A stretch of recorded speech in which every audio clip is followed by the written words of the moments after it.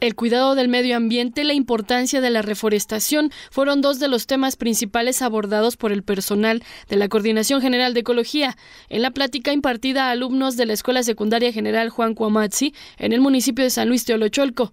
El biólogo Rafael Escobar Cabrera habló sobre los beneficios de sembrar un árbol para el medio ambiente y la conservación de los ecosistemas. Una las cosas muy, muy importantes es la captura de carbono. ¿Saben cómo hace la captura de carbono el árbol? ¿Hay de ustedes que me pueden decir? La captura de carbono lo que hace el árbol es extraer toda esa emisión de las fábricas, de los autos. Lo que hace el árbol es extraerlo, lo absorbe. ¿De qué manera lo captura? Desarrollando ramas. Entonces, los árboles que tienen bastantes ramas, ¿por qué? Porque son buenos, son eh, árboles que están capturando suficiente eh, carbono para que en la noche lo está transmitiendo en oxígeno. Explicó que existen diferentes tipos de plantaciones de árboles, las de restauración, las agroforestales, las comerciales y las urbanas. Esta necesidad y problemática que está a nivel mundial está recuperando nuestras zonas boscosas.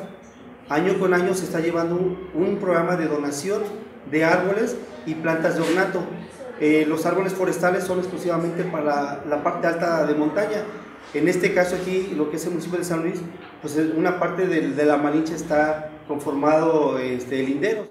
Por su parte, el responsable de las áreas naturales protegidas de la CGE, Saúl Pedraza Paredes, llamó a los estudiantes a ser parte del rescate del medio ambiente, pues serán ellos los que disfrutarán o carecerán de sus beneficios. Si no nos enseñamos a conocerla y aprenderla, ¿qué está en torno a nosotros? No vamos a poder respetarla. ¿sí? Lo mismo nos va a dar rasgar un árbol, pisar una planta. ¿Por qué? Pues porque desconocemos para qué sirve, qué función nos da, qué este, en este caso servicio ambiental, actualmente está de moda la palabra, qué es lo que nos proporciona.